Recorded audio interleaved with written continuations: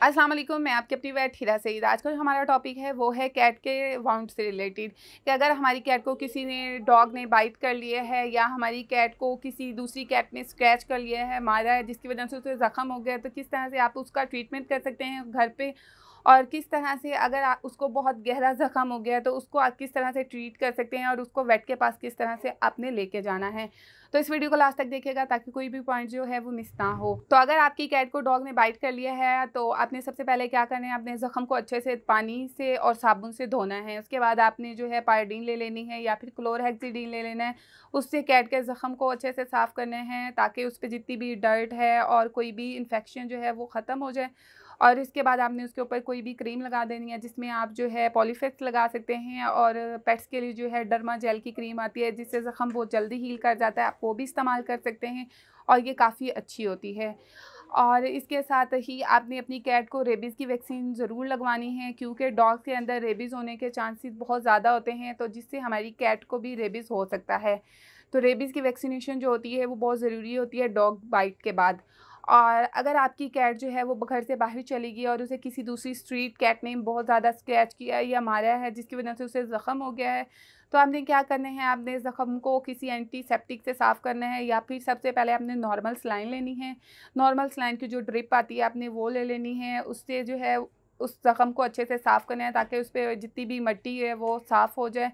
उसके बाद आपने जो है पायडीन लेनी है या क्लोर हेक्सीडीन लेना है और सम टाइम हम सिपरेट का भी इस्तेमाल करते हैं।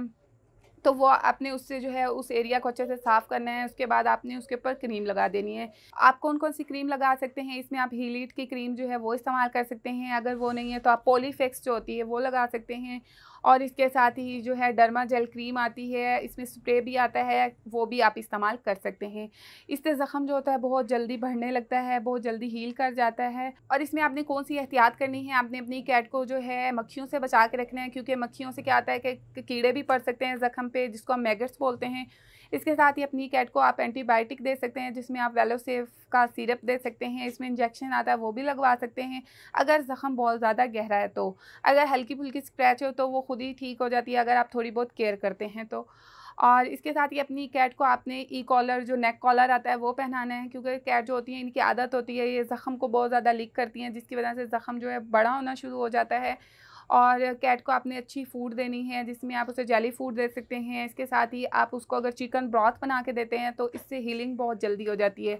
चिकन ब्रॉथ की वीडियो मेरे चैनल पे है, जो कि लिंक आप डिस्क्रिप्शन में देख सकते हैं। और बहुत से लोग जो इस बारे में सवाल करते हैं कि अगर ज़ख़म बहुत गहरा है तो हमें उसको किस तरह से ट्रीट करना चाहिए? अगर तो ज़ख़म जो है बहुत ज़्यादा गहरा है तो आपने कभी भी खुद ट्रीट नहीं करना। लेकिन आप क्या कर सकते हैं आपने थोड़ी सी चीनी लेनी है या फिर गुड़ लेना है, आपने ज़ख़म के ऊपर एक लेयर सी बना देनी है।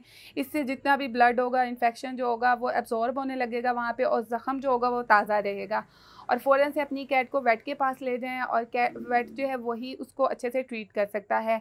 इसमें समटाइम क्या होता है कि अगर ज़ख़म बहुत गहरा होता है तो हमें सुचर भी लगाने पड़ सकते हैं।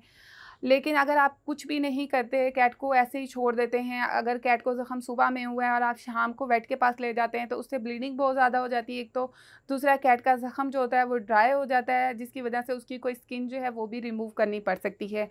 और अगर आपके पास हनी पड़ा हुआ है, शहद पड़ा हुआ है, आप वो भी थोड़ा सा लगा सकते हैं। और बैंडेज जो होती है, ये हमने मौसम को देख के भी करनी होती है कि अगर जिस तरह का आजकल का मौसम है मॉइस्चर बहुत ज़्यादा है, नमी बहुत ज़्यादा है तो इसमें क्या होता है कि ज़्यादा चांसेस होते हैं कि ज़ख़म जो होता है वो गलने लगता है जब हम उसके ऊपर पट्टी बाँध देते हैं।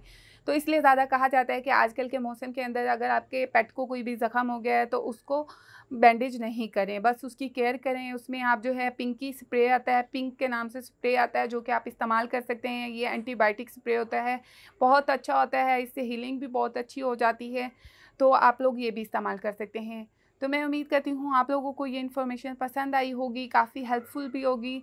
अगर आपको मुझसे कोई भी क्वेश्चन करना हो तो आप मुझे कमेंट कर सकते हैं इंस्टाग्राम पे मैसेज कर सकते हैं और नए नए टॉपिक भी सजेस्ट कर सकते हैं। थैंक्स फॉर वॉचिंग अल्लाह हाफिज़